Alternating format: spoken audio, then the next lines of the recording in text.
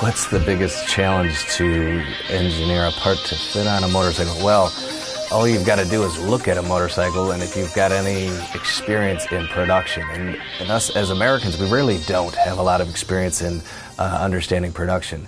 A perfect example would be like a Bic lighter. Uh, we take that for granted. You know, it's a buck 69 at the 7-Eleven, but there's probably in excess of around five to eight thousand dollars in tooling just to make that uh, Bic lighter. Right? You've got the plastic housing, which has a bottom cap. You've got that st- that nickel-plated steel uh, guard. Well, there was a stamp tool for that. So, if you have an understanding or a familiarity with production then you really would you would look at making parts for motorcycles and be quite daunted because of you've got to factor in the OEM like BMW or Suzuki's manufacturing tolerances.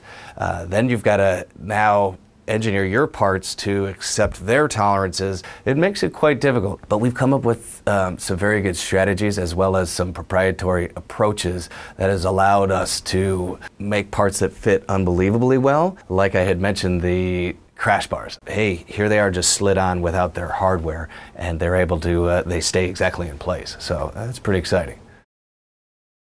It's interesting that you asked that, you know, why is such a high tech approach? And that really yielded out of starting fresh, right? We, I had no bias, I had no background on how, to, how I was going to do this. This is my first time um, doing production level parts. It's one thing to go to your garage or your fab shop and make a one off piece.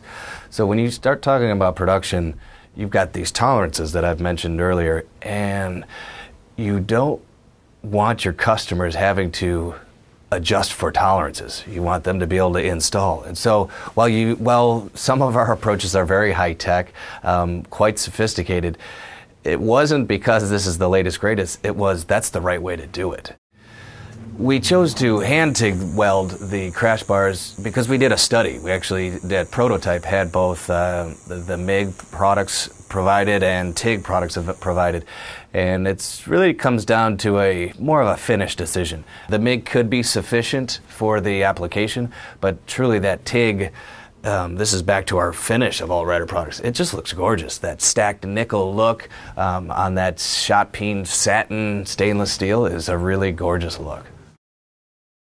I really saw the growth in this adventure touring market, and nobody was really catering directly to the U.S. And I had a mentor who was involved in manufacturing, and the opportunity kind of was perhaps perfect timing. Some you could argue worse timing to, to start this thing up, but really think that we have an opportunity both because of the growth in this uh, market and then also the manufacturing capabilities in America, particularly here in Washington, being in this Boeing corridor, having access to what I'm still shocked at is the just beautiful quality and able to hit price points that work for the market the strategic relationships we have with our manufacturers goes much beyond just the product. It's really back at the beginning and utilizing some really talented individuals from the engineering department all the way down to uh, on the floor. The guys who are actually bending and doing the welding. Hey, these guys have been doing it for 12 years.